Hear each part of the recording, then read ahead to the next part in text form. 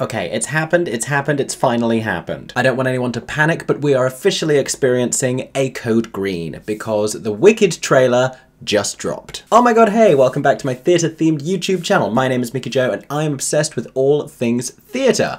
I am a theatre critic, pundit, and fan covering all things theatre from the West End to Broadway. And this year, of course, theatre fans worldwide are particularly excited because we are finally, after like two decades of anticipation, getting a feature film adaptation of the hit musical Wicked, which recently celebrated 20 years on Broadway. Thank you, Ashley, for getting me this hat. Wicked the musical, which opened at the Gershwin Theatre in 2003 and continues to play there in New York, of course also at the Apollo Victoria Theatre here in London, as well as touring the US and the UK. There are also many other productions worldwide. There are non-replica productions worldwide. It's a global sensation with enormous appeal and one of the most successful musicals ever. And rumours of a film adaptation had been spiralling like a tornado for more than 10 years now. But it's finally happening and details have been trickling out. We've seen set leaks, we've heard recordings made uh, from a distance. There are still some cast mysteries, there are some possible cameos, there are some West End performers who seem to be making an appearance. And while these crumbs have been satisfying, we have now been well and truly fed with the first full trailer for part one of the Wicked movie. Because if you didn't know, now you know,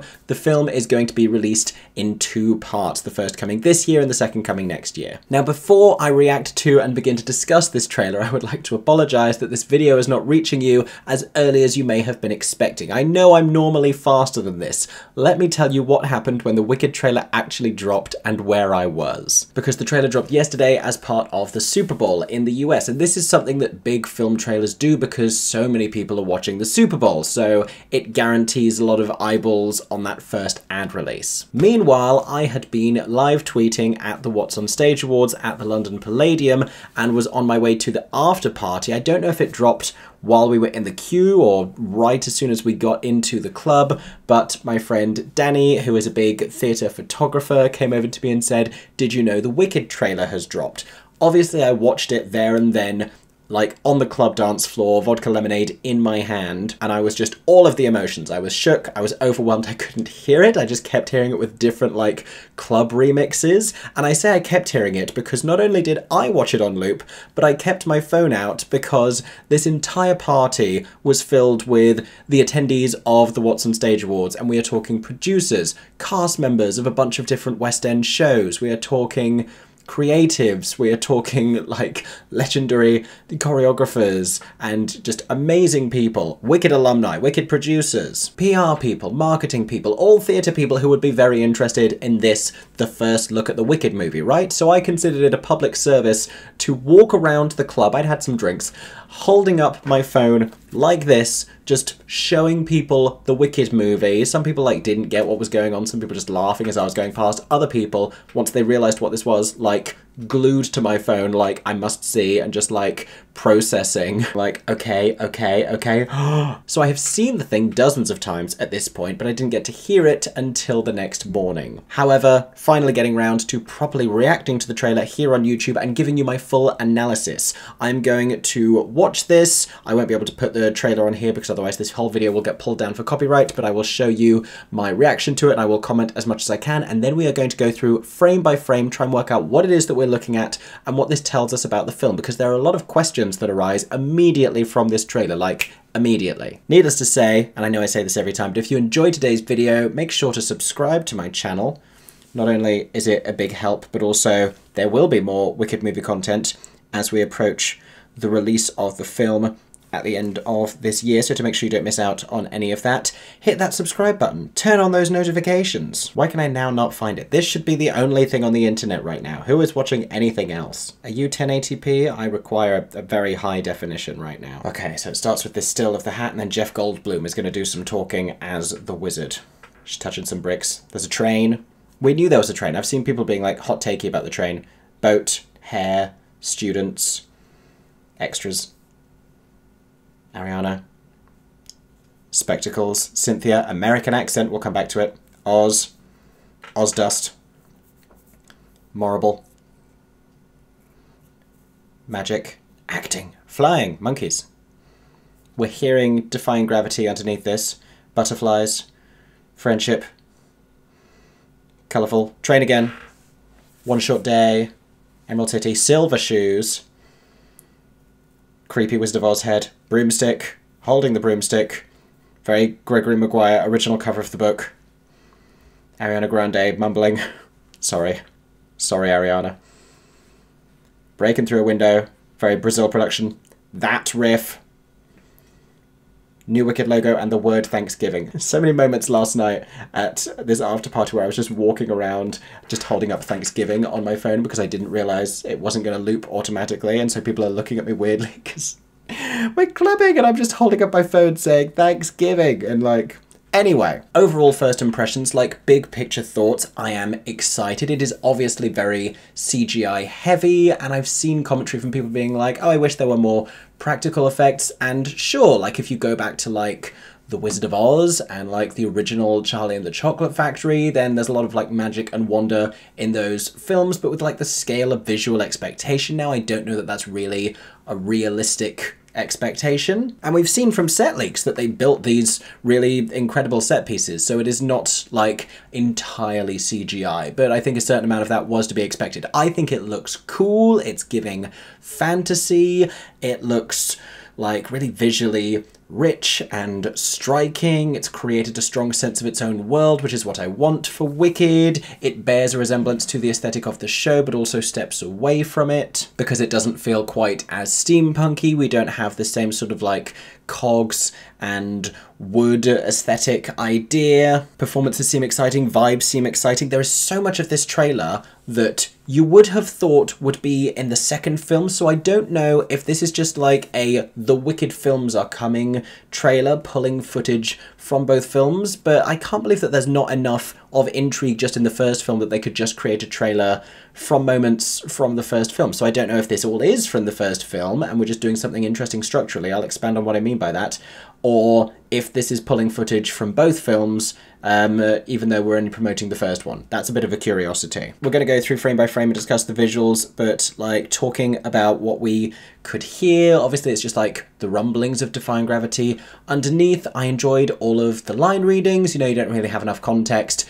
Uh, I would say we could tell that Michelle Yeoh is going to be quite a uh, sort of more serious and intimidating Madame Morrible, a little bit less theatrical than the stage version, especially the British stage version. I think she's going to be a little more serious, a little more austere. And Cynthia Erivo, this is headline news from my perspective, is going to be using an American accent. Cynthia, who is a British actress who went over to the States uh, when she transferred with the Broadway revival of The Colour Purple and has forged most of her career over in the US, and good for her. But there was this curiosity because she is British and Jonathan Bailey is British and Ariana Grande is American as to what accent we would all be using. And it seems Cynthia's going American. Jonathan Bailey has recently worked in the US and done projects with an American accent, so maybe he too will use an American accent, and that's just the way that we are going. But we do also know that there are a number of British Wicked alumni who are in this film. I can't remember how many have been officially announced and how many are just being rumoured.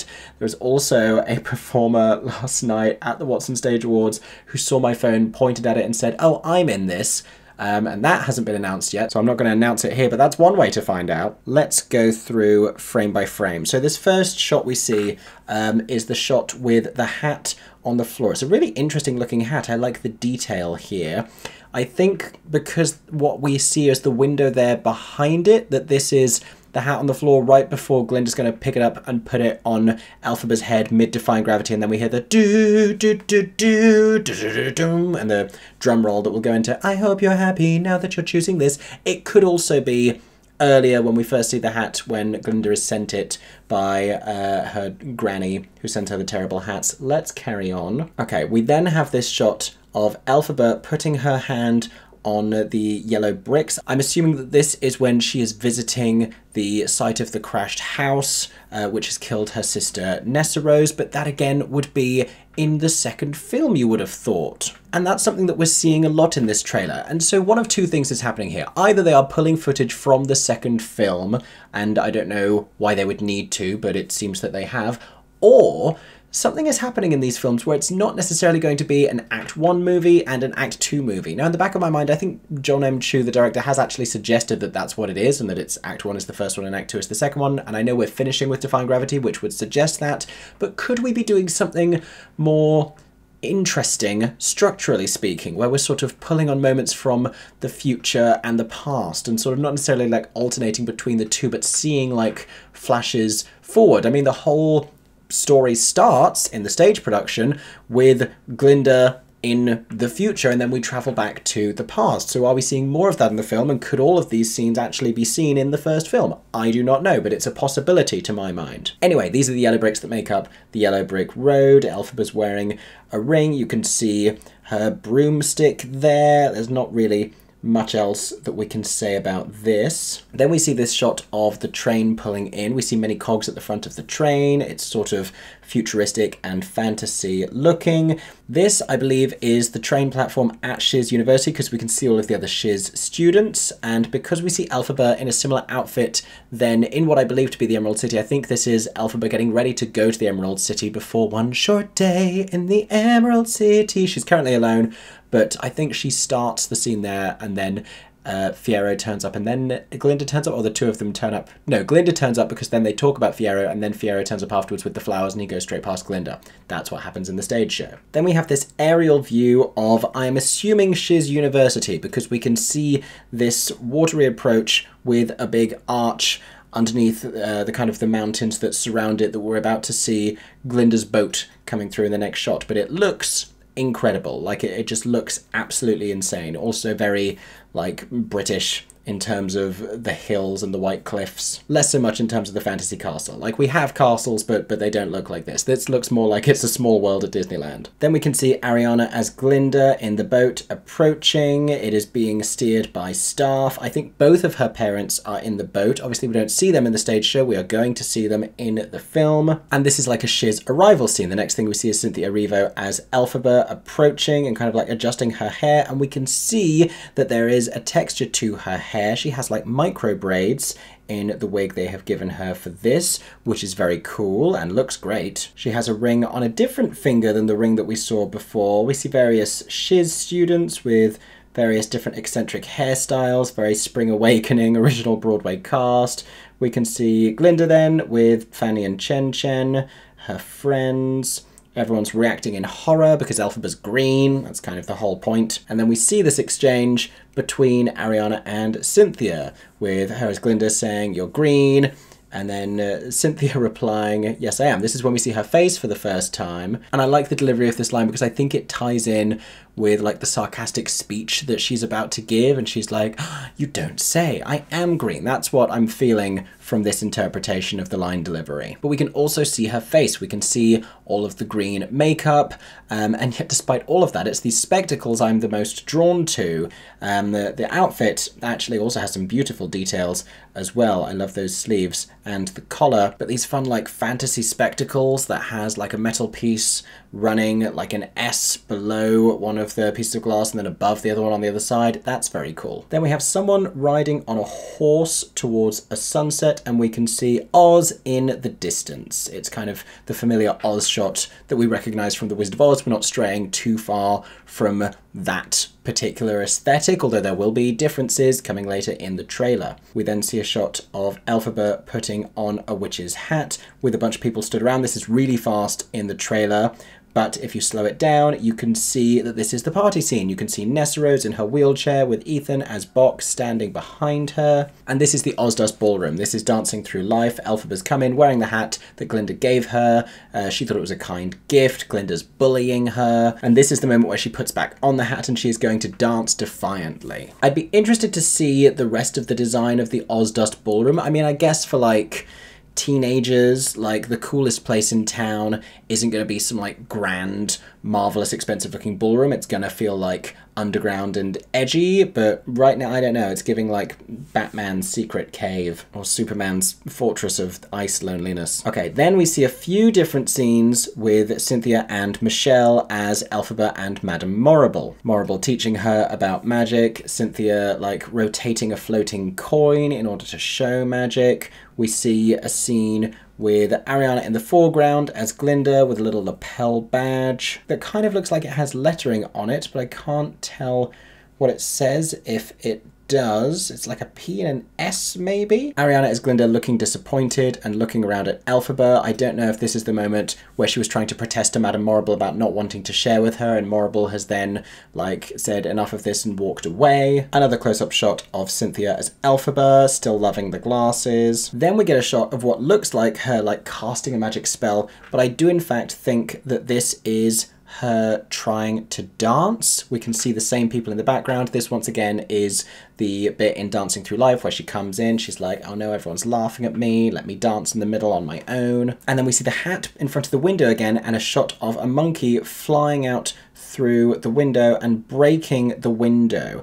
Now, it has just occurred to me, this could be the very end of the story, with the hat being the only thing that's left after she is melted, and the monkey then, like, flying out to go and deliver a message, or just, like, flying away once that's happened.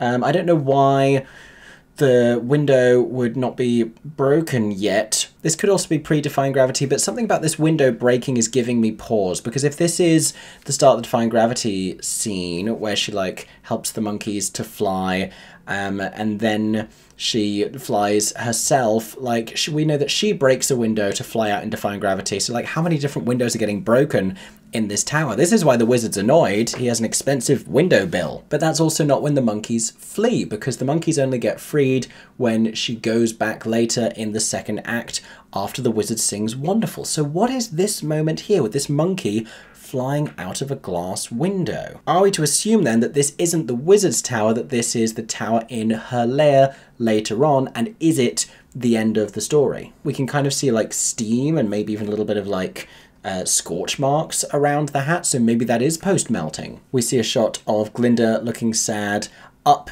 in another room with windows. Can we study those windows in the window we just saw? Can we look at differences between windows? Yeah, okay, so it's a different win. This one has like things pointing in and then something slightly more square in the middle, but then the wizard's tower windows look different because they have a big circle in the middle. Okay, windows, different windows. This is not the level of detail I thought I would be analysing this trailer in, but honestly, are you surprised? Glinda looking sad, looking up through a presumably broken window, the guards are around her, Morrible is there in her green I am now the press secretary in Oz outfit. Uh, this is the very end of Defying Gravity, this is going to be the very end of the first film when everyone's going down, boom, credits. I assume. Another shot of Michelle as Morrible with this nice asymmetric collar going on there and a nice eccentric white wig. And then, oof, we have a shot of Jonathan Bailey as Fiyero with his highlights and Cynthia Erivo with one hand on his face. I think they're wearing... I'm, I'm getting school uniform from this. I don't think this is as long as you're mine. I think this is like freeing the lion cub. And yeah, he's got a cut on his face. That's what she's touching. She's like putting her thumb across a cut on uh, the side of his face next to his eye because the lion cub scratched him. And that's a line from the show, I'm a genius. But also, get it, girl. Then we see, okay, this is the one that has people confused. We see Ariana as Glinda in a wedding dress holding a bouquet with a veil and butterflies flying all around her. Now, I wouldn't say that this is necessarily beyond what a wedding might look like for Glinda in Oz, but I have also seen a theory by my friend Kate online that this is not actually a real scene as such, that this is like a fantasy imagination that we see while Elphaba is singing I'm not that girl. Presumably it would come during the lyrics like Blithe smile, lithe limb, she who's winsome, she wins him, blonde hair with a gentle curl. And she's like picturing the wedding that Glinda and Fiyero will go on to have because she's a dramatic, moody, emo teenager. Also, am I being completely insane, or is one of the wedding guests here Idina Menzel in a brown wig? There's just someone who looks like they could kind of be Idina. I'm looking for her because you know she's going to be in this film. You know her and Chenoweth are both in this film. It hasn't been confirmed as far as I believe, but you know for a fact they're going to be in there somewhere and they're going to want to hide them from these trailers. But yeah, I think the butterflies of this all is making it fantasy dream sequence. If anything, maybe Elphaba is somewhere where butterflies are actually flying around and then we see that as a motif in her imagination. I'm absolutely overthinking this. Then we have a nice shot from Elphaba and Glinda clearly being friends but still at school. You know that they're young here because Glinda has pigtails, and they're either in a field of roses or poppies. There are like uh, defocused red flowers behind them. I'm hoping it's poppies because then that later is like a thing that would get called back on because of poppies appearing in The Wizard of Oz. Poppies! Then we see a shot of a sunset behind a tower with flying monkeys flying all around it. I think that this is the tower that uh, was one of Fiyero's family's castles that Elphaba makes her hideout. I don't think this is the Wizard's Tower, it's not giving Emerald City. So again, you would have thought that that would be second film. Then we see, wow, we see this very colourful scene. I think this is Munchkin Land this sequence that we can see here. All of these different rows of colourful flowers leading down to this little dip with a little village in the middle, and that looks familiar of some of the leaked set photos we saw that we knew to be Munchkin Land, or that we assumed were Munchkin Land because of the dress that Ariana was wearing as Glinda. Then we see a shot of the train heading towards the Emerald City. I think this is like immediately pre One Short Day. That's the train they got on at Shiz. It's taking them to the Emerald City. They're going to sing the song. And this, I think, is what actually comes afterwards. You can see the train wheels on one side of them here. Uh, I think they're about to sing One Short Day. They're looking at the Emerald City for the first time, which incidentally, I believe was the last thing they had to go and reshoot after the strikes were over. Then we get to see the Emerald City. It's all green and gold, looking very cool, but also looking a little bit different to the Emerald City of the Wizard of Oz film, which I appreciate. Speaking of which, here comes Dorothy. Now, we only get to see the back of her head and her feet, but when we do see her feet, we see that per the book and per Wicked, they are silver shoes, not ruby slippers. Ruby slippers, and correct me if I'm wrong, I believe that was a change made for the MGM film because they popped more on screen. In any case, these ones are silver, and I like that they're not just like bejeweled shoes. Like they actually have this really cool design to them. They look lovely. She's wearing blue socks, which is accurate. She's got Toto with her as well. And I don't know how much we're actually going to see Dorothy because in the stage show, we only see the silhouette of her and like she is implied and we hear her whimpering, but she's not really a presence. You would assume because they're showing us this that we actually might see a little bit more of her. Then we see Jeff Goldblum giving it voice acting as the wizard. He's got a little moustache and a little goatee. Sure. And then we see this Wizard of Oz head, not dissimilar from the one in the stage production, but it's got things hanging down that make it look like the head has dreadlocks. And then a wide shot where we can see more of the head, lights around it, looking quite creepy, but also, critically, we see Dorothy and her three friends. We see a full CGI, I'm assuming, lion, like it's not a person standing in a lion costume, it's just a full lion. We see the Scarecrow, now we know who that is. We see the Tin Man, we know who that is as well. And when I first saw this, I was like, oh my gosh, we didn't know that Dorothy and the Scarecrow and the Tin Man and the Lion would be in this, except we did, because of course we know that the Tin Man and the Scarecrow and the Lion are, because we know where they come from in the Wicked interpretation of the story. Um, but still, this is not something, this is not a scene that we would see in the show, this is straight out of the first Wizard of Oz. Another shot of Goldblum at the controls. He's got a lovely coiffed wig as well. Again, I mean, the costume design, the wig design for everyone in this, just brilliant. Then we see a shot of Cynthia. Oh, now this is interesting. Pre-shattered window, but that's not the window because I looked at the window design. That's not the window the monkey flew out, but the window is already broken but she hasn't flown out it yet. But she's magicking the broom towards her hand, which feels like the moment before she's about to fly off and do Defying Gravity, except the window is already broken. Could this be when she's come back post Wonderful and she's about to fly off again through the same broken window? I don't know, but I have questions about the fact this window is pre-broken. We see another shot that's like panning up from the bottom of the broom, her looking powerful, her like folding her fingers around it. I do think this is when she's going to fly for the first time because this feels like such an anticipation building establishing shot. And then we see a shot, this is clearly the attic, you can see junk around, you can see the soldiers, and she is flying up. She's like, it looks like she's leaping through the air, but she's flying. She's only got one hand on the broom, trailing behind her. And then we see this explosion. Don't know what's going on there. These are all very short scenes that we're seeing. But the, the sort of leaping, flying into the air one is presumably the very start of like, it's me, so if you care to find me. And then if we pause at the right time, we see that these are all little lamps that are going to explode here with maps on the wall and leaflets flying around that say run and i think they've got a green face with a hat on them i think this is like anti-Elphaba propaganda. There's also green tile at the top of the walls, so I'm assuming that this is somewhere in Oz, uh, but it's the lights that explode, and then we see more flyers flying around. Then another HBIC shot of Morrible in a green dress, flying monkeys all around her. We see Ariana as Glinda all in pink this time, twirling around a corridor. This feels like it's popular. I feel like this is the vibe of popular and so that's the outfit she's going to be wearing in that scene is an entirely pink like long corridor and i don't know if that's just all her personal dormitory at Shiz, or if that's the interior design of all the Shiz dormitories. A shot of Goldblum with yet another window design. This one's hexagons. How many different types of windows? God, if you're a glassmaker in Shiz, you are busy at work. Is something exploding behind him? Oh, it seemed like something was about to explode behind him, but we didn't get enough of that scene. God, this bit is brief. Something's happening out that window behind him, and he's slowly turning around. Maybe that's like Elphaba coming back and like blowing things up in Oz and like the lights exploded and the flyers flew everywhere and he's then reacting to that from above and turning around to see it and maybe then she's going to appear and he's going to sing Wonderful. I don't know.